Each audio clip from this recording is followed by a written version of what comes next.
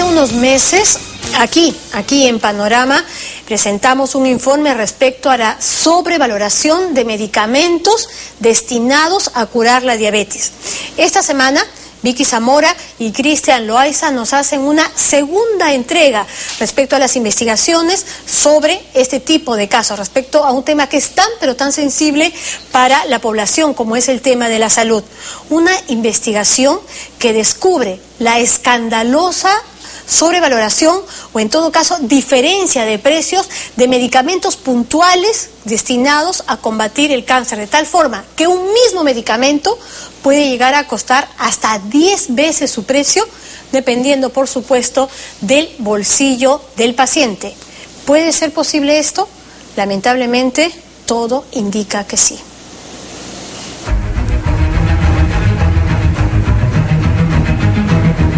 En el Perú, un tratamiento para cáncer de mama puede llegar a costar hasta 250 mil soles. 250 mil soles.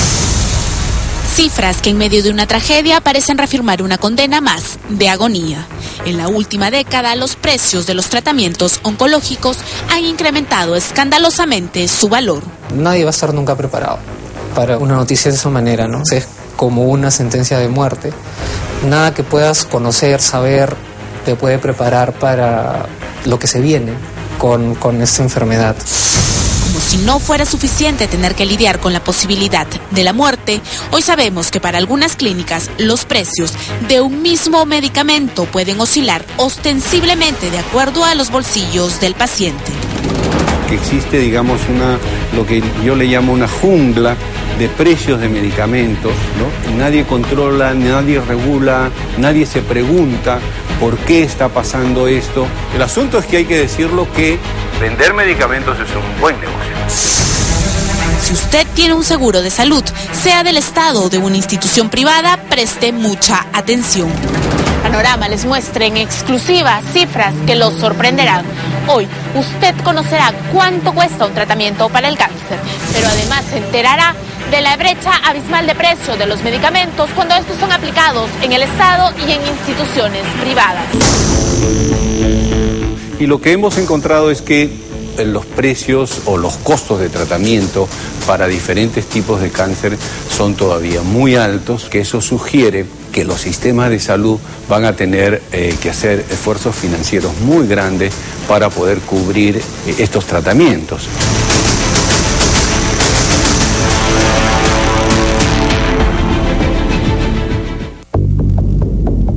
Acción Internacional para la Salud es una ONG que promueve que la población acceda sin problemas a medicamentos.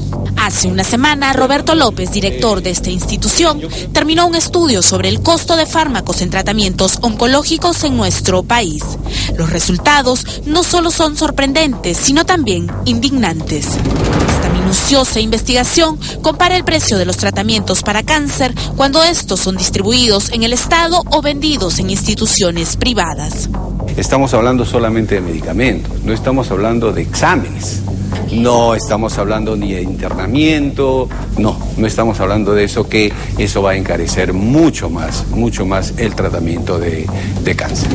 El estudio se centra básicamente en los medicamentos utilizados en los tratamientos para cáncer de pulmón, mama y próstata. Cáncer de pulmón. Si es el Estado que trata este, este cáncer de pulmón, al Estado le va a costar 3.221 soles. Pero si esta persona seguramente va a una clínica y donde tienen el medicamento y ahí lo tratan, ya no le va a costar 3.200 y picos, le va a costar 30.700 soles. 30.700 soles. De acuerdo a las cifras obtenidas por AIS, el tratamiento para cáncer al pulmón, tomando como referencia el gasto que hace el Estado en cada uno de sus pacientes, llega a ser en una clínica privada hasta 10 veces mayor, según este cuadro. Una buena parte de la información ha sido obtenida a través o en el Observatorio Peruano de Precios de Medicamentos. En esta base de datos pública se puede comparar los precios de los medicamentos. Para el cáncer al pulmón se utiliza el erlotinib. Este fármaco, tal como vemos, en una farmacia se puede comprar a 46 soles. El mismo producto del mismo laboratorio en una clínica privada se cotiza en 229 nuevos soles, seis veces más del precio en el mercado. Es necesario que las farmacias o las clínicas o los seguros que pagan finalmente eso nos expliquen por qué ocurre eso. La diferencia es abismal, es abismal. Incomprensible yo, más que incomprensible, injustificable. Porque es el mismo tratamiento, estamos utilizando los mismos medicamentos. Estas cifras solo reflejan el gasto en medicina. Sin embargo, según Enrique Rispa, los pacientes que padecen esta cruel y temida enfermedad necesitan también cubrir otro tipo de egresos que se hacen inevitablemente necesarios. Definitivamente el tema económico pues es un desgaste impresionante porque eh, no solamente son los medicamentos, no este es el tratamiento, es la enfermera, son los medicamentos complementarios. Definitivamente en algún momento tienes recaídas, tienen que hospitalizarte. Definitivamente pues es un, es un, un gasto elevado que imagino hay mucha gente que no lo puede, no lo puede manejar. Veamos ahora qué pasa con el cáncer de mama. En este primer cuadro nosotros lo que mostramos es el tratamiento, digamos, con medicamentos que no son biológicos, que son de síntesis química y que son los tratamientos más baratos. El primer tratamiento para cáncer de mama, ¿no? que te va, digamos, desde 24 mil de acuerdo a los precios que, compra el mercado, eh, el Estado, estos medicamentos, hasta 112 mil. Una diferencia de cinco veces más. El cáncer de mama es hoy la principal causa de muerte de las peruanas. Para esta enfermedad, por otro lado, ya se utiliza en nuestro país medicina de alta tecnología, que combate directamente y de manera eficaz las células cancerígenas, sin dañar los órganos sanos del cuerpo. Se trata de medicamentos biológicos que aseguran mayores probabilidades de recuperación. Una terapia en la que los precios también son de infarto. Este tratamiento puede costar hasta un cuarto de millón de soles. Al puerto de nuestro país, cada inyectable de trastuzumab, el biológico que combate el cáncer de mama, llega a un precio de 4.322 soles según un estudio de Digemit. Sin embargo, el precio de este mismo fármaco en farmacias privadas supera los 9.000 soles, tal como se demuestra en el estudio. Por ejemplo, para el caso de trastuzumab, nosotros hemos encontrado ahí que en el sector privado el precio más elevado de acuerdo a este observatorio y es el día de hoy es de 9.275 soles en el servicio de farmacia San Isidro. Ejemplo, en el servicio de farmacia de la Clínica Internacional también te da el mismo precio de 9.275 y el servicio de, de, de, farmacia de la farmacia de la Clínica El Polo también eh, lo da a 9.275.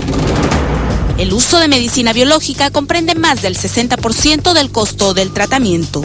Esta es una de las terapias más caras que se ofrecen en el mercado de la salud.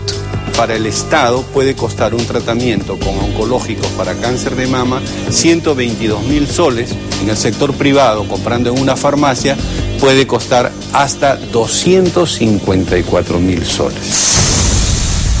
En la actualidad, solo existen medicamentos biológicos para combatir el cáncer de mama, el cáncer gástrico, el renal, el del pulmón y el cáncer linfático. Los oncólogos aseguran que los beneficios son extraordinarios.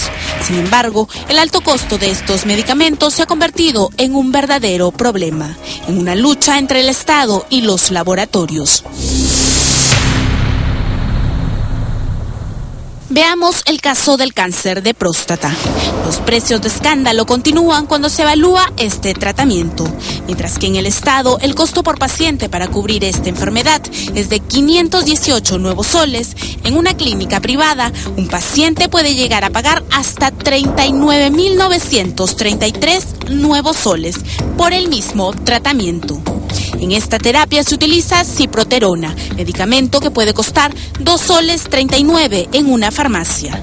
Puesto en la clínica, el costo es de 351 nuevos soles, una abismal diferencia de precios, sobre todo cuando se trata del mismo medicamento, de la misma dosis y el mismo laboratorio. Yo creo que es un fenómeno, es un fenómeno, muchos dirían, de libre mercado, pero es necesario cómo es que este mercado está abusando abusando, digamos, de los usuarios porque los usuarios no tienen ninguna información o, digamos, tienen una cuota de poder mínima que no puede influir sobre esta, la determinación de estos precios. Eh, estamos eh, en un país en crecimiento, pero no todos están recibiendo los beneficios de este, de este crecimiento. Y va a haber algunas personas que a pesar del seguro le va a ser muy difícil, su seguro privado quiero decir, le va a ser muy difícil asumir estos costos de tratamiento. Pero eso no es todo. Si en la página web del Ministerio de Salud se realiza búsquedas de fármacos sin importar el laboratorio, los precios son escandalosamente diferentes. En el caso de la flutamida, utilizada también para el tratamiento de cáncer de próstata, la tableta se puede hallar desde 33 céntimos hasta 337 nuevos soles en una entidad privada, mil veces el precio base en el mercado un rentable y lucrativo negocio en los medicamentos para combatir el cáncer.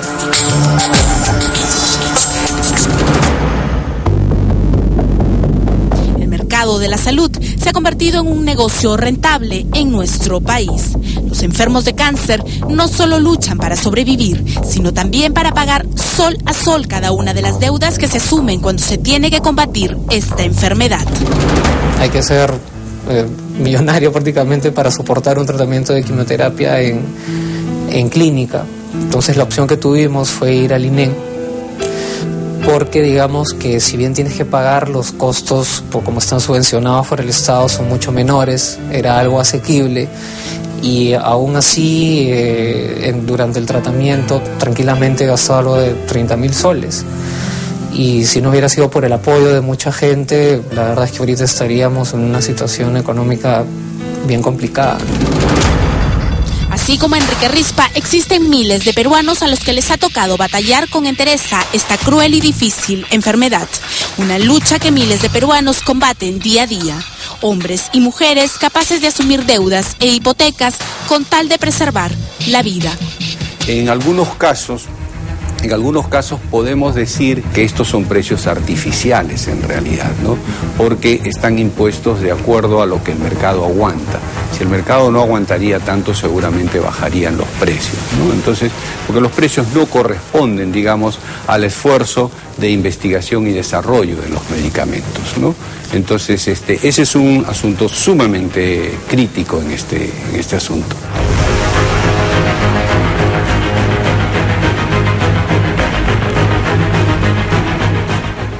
Como señalamos al inicio, esta, esta no es la primera vez que aquí en Panorama presentamos investigaciones vinculadas a los precios de los medicamentos. Lo hemos hecho con otros temas como el de la diabetes y también ahora contra el cáncer. Existen numerosas investigaciones al respecto, tanto de ONGs como la que acabamos de ver, AIS y del mismo Ministerio de Salud, donde cualquiera puede enterarse de cómo se está manejando esto de manera tan escandalosa. Desde Indecopi, sin embargo, hasta ahora no escuchamos absolutamente nada y los pacientes siguen siendo quienes pagan los platos rotos. Hacemos una breve pausa en el programa y más adelante una tierna, así como gran historia de rescate y también la otra faceta de Maribel Velarde. Ya regresamos. Ana durante un año y dos meses estuvo en cautiverio sometida a constantes vejaciones por un hombre que le arrebató la inocencia, un ser monstruoso que increíblemente lleva su sangre por ser su tío.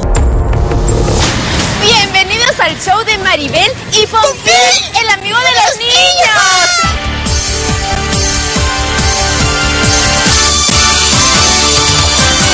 Llegó la hora